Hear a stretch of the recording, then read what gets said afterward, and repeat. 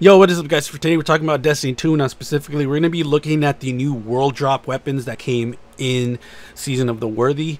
Now, instead of doing all of them, which would have been a big fucking video considering there's nine, I'm going to be doing them by factions. So first we're going to be doing Dead Orbit, and then we're going to do Future War Cult, and then last we're going to do uh, New Monarchy. So we're going to be looking at Escape Velocity. This one is one of my favorite weapons right now, and ultimately I have two rolls that you could do for PvP and PvE, which is funny because I think both of them have one same perk. So let's let's go right into it real quick. We're gonna be looking at the first column, which is Overflow, Threat Detector, Grave Robber, Zen Moment, and Hipfire Grip. And the last role is gonna be Quick Draw, Osmosis, Surrounded, Elemental Capacitor, and Vorpal Weapon. So the god roll for me for PvE, PvE and PvP would be Overflow with Quick Draw for PvP and Overflow with Vorpal Weapon for PvE.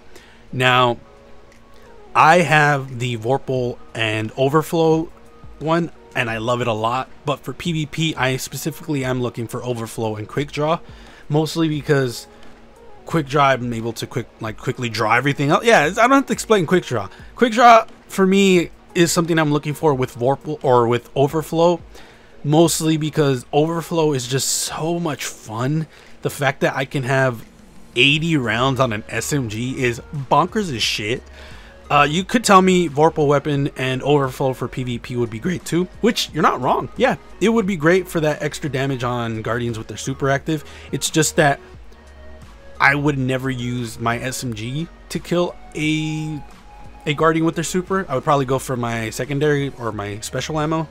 So that's the only reason. But it could be like a, oh shit, uh, like you just popped your super right in front of me. Let me just shoot you with it real quick. Yeah, that could be totally viable.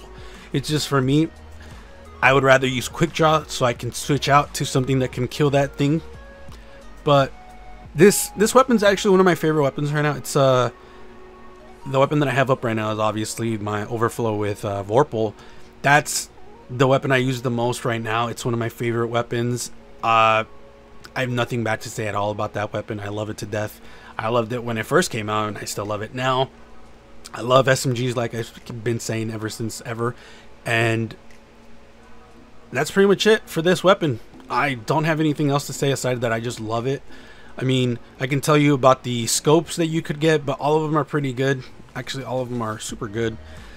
I would probably just tell you to put tactical mag or appended mag on it. That way you can put on a, an extra mod of ammo as well. But it already comes with a base of 37 ammo.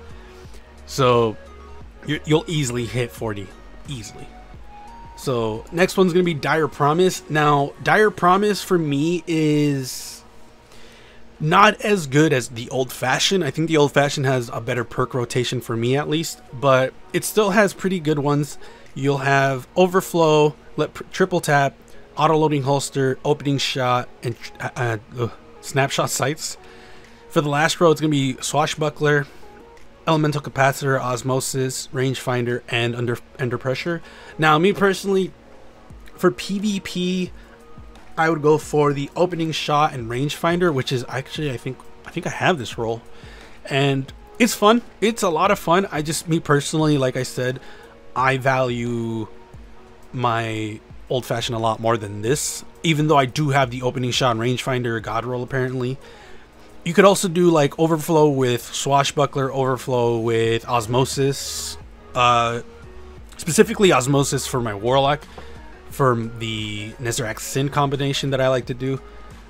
Me personally, like I said, I just I like my old fashioned a lot more. If it had a if it had like some damage perks other than swashbuckler, I would love it more. Maybe I could use my swashbuckler and like I think I have another I don't remember the other one, but I know it has swashbuckler. I could probably use that for my Titan, but I value swashbuckler more on weapons that are auto, not like singular shots if you get my drift. So like an smg an auto rifle stuff like that i value auto, uh, swashbuckler more just because i can spray it.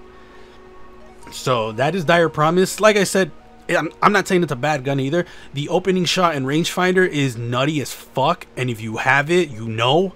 But that's the god roll for that specific weapon, and I got really lucky lucky on it, and it's wasted on me because I know people would love to get that, but there that is. The next one, which is the final weapon, and one of my favorite weapons again, is gonna be the Distant Tumulus.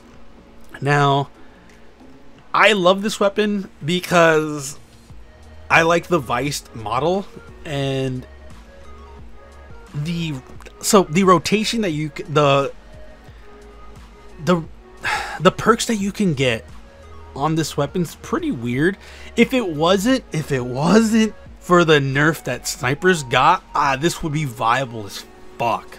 So we have Dragonfly, Clown Cartridge, Lead from Gold, Pulse Monitor, and Genesis for the first row. And then for the second, we have Outlaw, Firing Line, Quick Draw, Snapshot Sights, and Opening Shot. So for PvP, there's a few rolls you could go for. Obviously, you could go from Lead from Gold. That's a pretty good one. Clown Cartridge could be pretty good as well.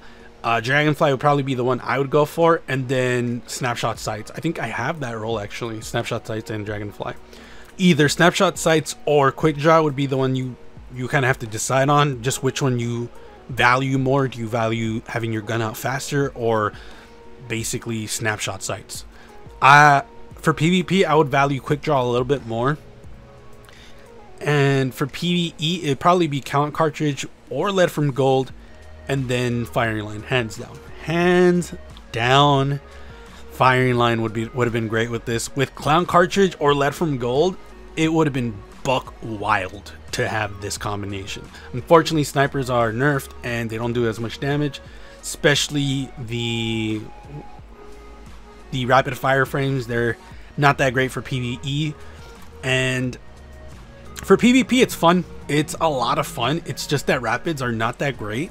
If I remember correctly, you have to like three tap to kill supers in PvP if I remember correctly. If I'm wrong, let me know in the comments below. But it just kills me a little because this could have been it. This could have been it for PvE, but unfortunately, Bungie just likes to shit on dreams, and it's kill. It kills me too because its base ammo is five bullets, so you could get up this up to like seven, eight. With clown cartridge, you probably get up to double digits maybe. It's kills my soul, guys. It really does. It kills my soul. But that's pretty much it. If you guys asked me, if you guys ask me, uh, Escape Velocity is my favorite weapon in this uh, list right now. Dire Promise would is in the third, unfortunately, and Distant Tumulus is my second favorite. I do use this for PvP, and the roll that I have specifically is one of my favorite rolls on it.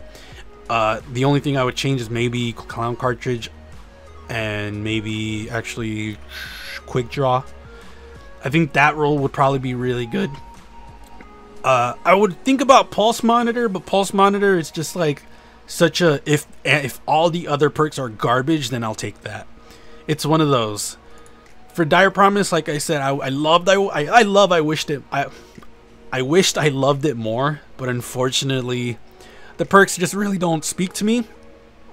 And like I keep saying, my old fashioned actually has the perk rotation that I love, love, love, love, love. So, yeah, Skate Velocity has to win this one. The next video is going to be new Monarchy weapons, and unfortunately, no. Next weapon is going to be Future War Cult. Future War Cult, mm, there's a few things that are bad about that but I'll let you guys know in the next video. If you guys want to follow me on my social media outlets, things are in the description below. Thank you everyone for the constant support. I really do appreciate it. Thank you everyone who's watching my other videos that are not Destiny 2 related. I really do appreciate that because ultimately I don't want to just put Destiny 2 content up because Destiny 2 is really stale at the moment, especially when I think about the Felwinter's Lie quest step that just it pisses me off to no end that they thought that was a great idea and really i just i play other stuff and i don't want to just put destiny 2 up so my doom video should have been up by now if not i'm having a doom eternal video coming up and just thank you everyone that's all i can really say so i will see you guys in the next video also, don't forget to wash your hands. Don't sneeze in people's faces. Don't cough in people's faces. You guys know you guys know what's going on in the world right now. It's fucking wild what's happening right now in the world and just be safe. And other than that, I'll see you guys later.